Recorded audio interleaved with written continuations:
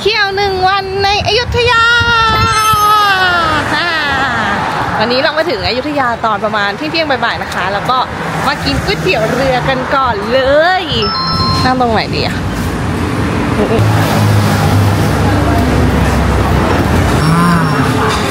ที่นั่งครับผมก็เดี๋ยวหลังจากที่เติมพลังพอเรามาถึงเราก็มาเติมพลังกันก่อนเนาะ เติมพลังเสร็จแล้วเดี๋ยวเดี๋ยวจะไปวัดไปคาเฟ่ก่อนเป็นคาเฟ่แบบชิคๆคาเฟ่ชื่อว่า La r u b e เขาบอกว่าเป็นคาเฟ่ที่แบบสวยนะครับเพิ่งเปิดใหม่เสร็จแล้ว หลังจากที่เราแบบจากคาเฟ่เสร็จแล้วเราก็จะไปเที่ยววัดมหาธาตุพอหลังจากที่เราไปเที่ยวมหาธาตุเสร็จแล้ว เราก็จะไปปล่อยปลาที่วัดพนัญเชิงให้อาหารปลาไม่ได้ปล่อยปลาเออไปไปไปไปให้อาหารปลาที่วัดพนัญเชิง พอเสร็จแล้วตอนเย็นก็หลังเนี้ยแบบไปเที่ยวทุกอย่างครบแล้วตอนเย็นเราก็จะไปนั่งรับประทานอาหารริมน้ำกัน ก็เป็นการจบทริปหนึ่งวันกับการเที่ยวในอยุธยา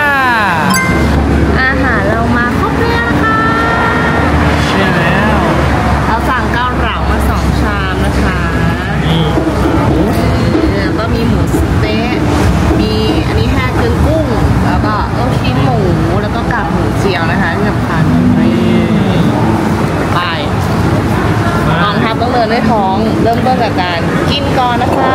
ไปกินก่อนแหละแล้วเดี๋ยวไปเที่ยวคาเฟ่กันต่ออ่าเรียกเป็นหน้ากองครับผมหมดทุกอย่างหลังจากที่เราหมดแล้วก็ต่อด้วย นี่รถช่องผมเช้าเสร็จแล้วต้องจบด้วยหวานไม่งั้นถือว่ายังกินไม่เสร็จโอเค เดี๋ยวเรารับประทานของหวานเสร็จแล้วเดี๋ยวไปเจอกันที่คาเฟ่ลาลูแบงครับผมใช่ค่ะใช่ตันตอนนี้เราวาร์ปตัวเองมาอยู่ที่คาเฟ่แล้วนะคะ ชื่อว่าลาลูเบอั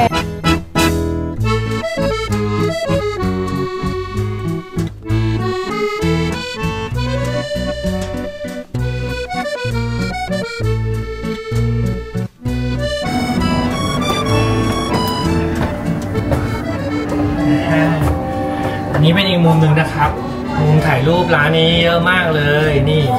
ข้างหลังก็จะเป็นใช้คำว่าลาลูแบงนะครับแล้วก็เป็นแบบว่าทางเดินแบบว่าสไตล์ยุโรปเลยมุมถ่ายรูปนะครับ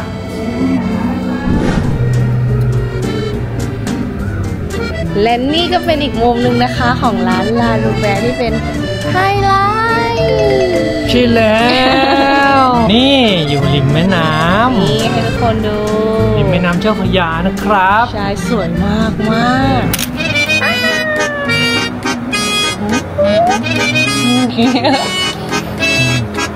นี่ก็เป็นอีกมุมหนึ่งนะครับ ของร้านลาดูแบบอกเลยว่า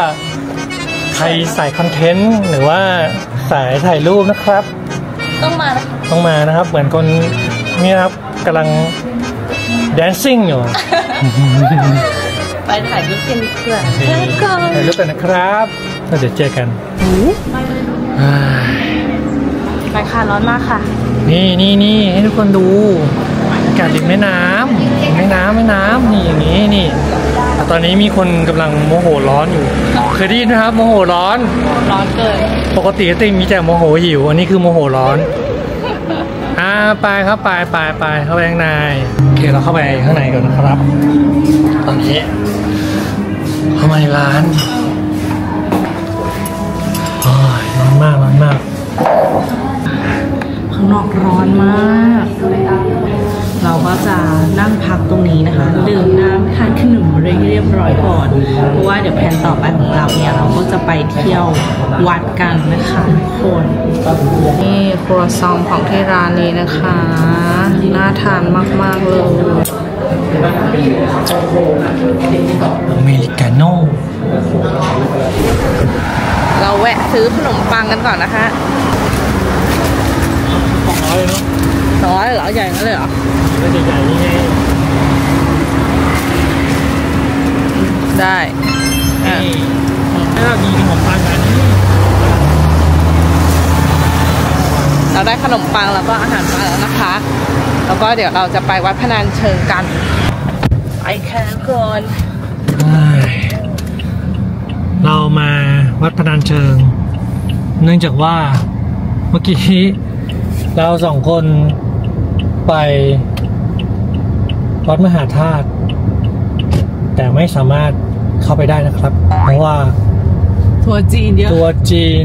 ก็เลยเปลี่ยนแผนสลับนิดหน่อยก็เลยว่าเดี๋ยวแวะมาวัดพนัญเชิงก่อน แล้วค่อยกลับไปวัดมหาธาตุใหม่ตอนเย็นให้คนเขาไปกันหมดก่อน ก็หวัง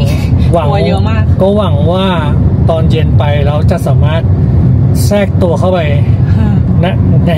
วัดมหาธาตุได้นะครับก่อนอื่นเราก็จะให้คุณแฟน เล่าประวัติ ใช่ค่ะทุกคนตอนนี้เราอยู่วัดพนัญเชิงแล้วนะคะ วัดพนัญเชิงเนี่ยมีวัดองค์ใหญ่ น่าจะหลวงพ่อโตถ้าจะไม่ผิดใช่อยู่ที่นี่นะคะ ใครศรัทธาในหลวงพ่อโตก็มาไหว้ได้ แต่ว่ามีที่ยิ่งกว่านั้นนะคะ ในความเชื่อใครในสายมูเตลูนะคะ ใครยังไม่มีแฟนฟังทางนี้เลยค่ะ เดี๋ยวจะบอกให้ฟังนะคะเคล็ดลับขอกับเจ้าแม่สร้อยดอกหมากได้นะคะ วิธีการของ่ายมาก เทคนิคของเราคือจดใส่ iPhone ค่ะ ใส่โทรศัพท์ของท่านมาเป็นโน้ตเลย list มาแล้วแบบฉันต้องการ 1 2 3 4 แบบไหน list list list list มา แล้วก็ขับรถมาอยุธยาวัดพนัญเชิง แล้วก็ขึ้นไปข้างบนแล้วก็ตั้งจิตอธิษฐานแล้วก็อ่านเลยค่ะ บอกว่าเจ้าแม่คะหนูขอแบบอย่างนี้หนึ่งสองสามสี่แล้วก็อ่านอ่านอ่านอ่านอ่านอ่านแล้วสุดท้ายเคล็ดลับอยู่ตรงนี้ทุกคน หลังจากที่คุณขอแล้วใช่ไหมคะคุณต้องทำการเสี่ยงทายถามด้วยอะเราก็เลยตั้งจิตว่าสิ่งที่ลูกขอไปเนี่ยทั้งหมดอะ จะเป็นจริงตามที่ขอหรือเปล่าอะไรอย่างนี้ แล้วเราก็เสี่ยงทายโดยใช้ไม้นั่นแหละอ่าแล้วเราก็โยนลงไปคือ ถ้าออกมาคว่ำอันหงายอัน ถือว่าคำขอนั้นคุณได้รับค่ะ แต่ถ้ามันออกมาหงายหงายความความก็คือเหมือนกันนั่นเอง ก็คือว่าอะรอไปก่อน คุณก็ต้องมาดิวกับท่านใหม่อีกรอบหนึ่ง นี่คือเคล็ดลับนะทุกคน ใครนะคะ ที่ยังไม่มีแฟนตามรอยมาได้ค่ะ เพราะว่าที่ฉันลิสต์ไปเกย์มันได้ตามนี้นะคะทุกคน เขาตรงทุกข้อที่ฉันขอจึ้งไหมเดี๋ยวจะพาขึ้นไปเจอท่านเจ้าแม่สร้อยดอกหมากนะคะอตอนนี้เราก็เดินมาถึงตำหนักท่านแล้วนะคะอืมก็จะเป็นจีนๆแบบนี้ ท่านก็จะอยู่ชั้นสองนะคะตรงนู้นเดี๋ยวเราจะเดินขึ้นบันไดกันทางนี้นะคะไปค่ะ มาเลยเราก็ไหว้ท่านก่อนนะคะไหว้แล้วนะคะเรียบร้อยแล้วนี่นะคะก็คือไม้ที่บอกในการเสี่ยงทายนะทุกคนวิธีใช้อะก็คือเอามันประกบกันอย่างนี้ใช่ไหมแล้วก็โยนลงไปพามาดูเจ้าแม่นะคะสร้อยดอกหมากนะคะ ท่านก็คือองค์ที่อยู่ตรงกลางนี้นะคะ สีแดง นี้นะคะ ถ้าเกิดว่าใครศรัทธา ก็มากราบไหว้ท่านได้ที่ตำหนักของท่านนะคะ เราเสร็จแล้วแล้วเราก็ลงกัน นี่ให้อาหารปลา นี่เอออ้าว ตอนนี้ก็ แกะ อาหารปลาเรียบร้อย ตอนแรกจะ ไปไหว้พระที่วัดมหาธาตุแต่ว่าเข้าไม่ได้ครับผมก็เลยนี่ครับผมมาให้อาหารปลาที่วัดพนัญเชิงนี่ดื้อดื้อดื้อดื้อดื้อดื้อดื้อไปอะให้อาหารกัน จะให้ตรงนี้ก่อนให้ให้อุ้ยปลาเดี๋ยวเดี๋ยวซื้อมาพิเศษของบาเขาที่เริ่มมาไปค่ะด้วยความที่มันเยอะมาก โยนไม่ไหวละเมื่อยเราก็จะเทนี่เลย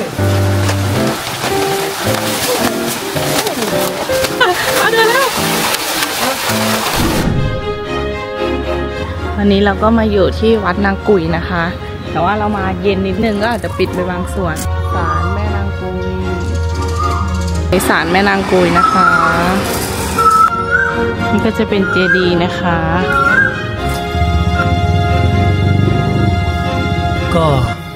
เสร็จจากนี้แล้วเราก็คงน่าจะไปรับประทานอาหาร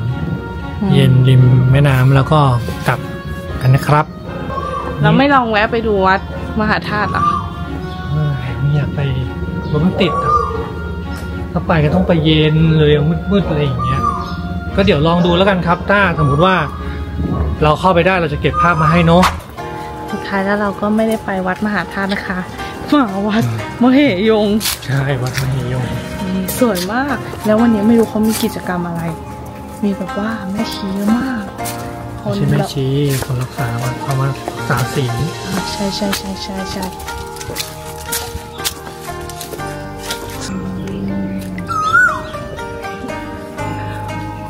โอ้ คนเพียบว้าวที่ถึงสมัยก่อนที่ยังมีหลังคาเนาะ อืม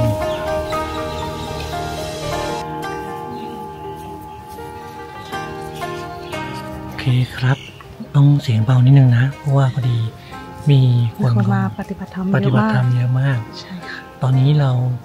ยืนอยู่ตรงข้างหน้า น่าจะเป็นอุโบสถเก่าของวัดมหิยงนะครับข้างหลังสวยมากเลย ข้างในเนี่ยก็จะมีคนนั่งแบบสมานั่งสธิมาธิ แล้วก็ใช่ด้านหลังจะเป็นเจดีย์ก็มีคนเดินจงกรมอให้ยู่ดูเนี่ยคนกำลังเดินเข้ามาเนี่ย นี่นะคะ คนเขาก็มาปฏิบัติธรรมกัน ใช่อืมโอเค เดี๋ยวเราจะพาไปดูเจดีย์ด้านหลังอัอันนี้คืออุโบสถเนอะข้างในสวยสวยมากเมื่อกี้ก็เก็บภาพไปแล้วแหละอืมแต่เดี๋ยวพาไปดูอีกทีหนึงแล้วเดี๋ยวจะอ้อม เราจะอ้อมอ้อมไปมันจะมีเจดีย์อยู่ด้านหลัง ใช่ค่ะจะไปดูเจดีย์กัน สวยมากโอเคครับ อันนี้ก็คือเป็นสร้างโบราณสถานรอบวัดในเขียวยงนี่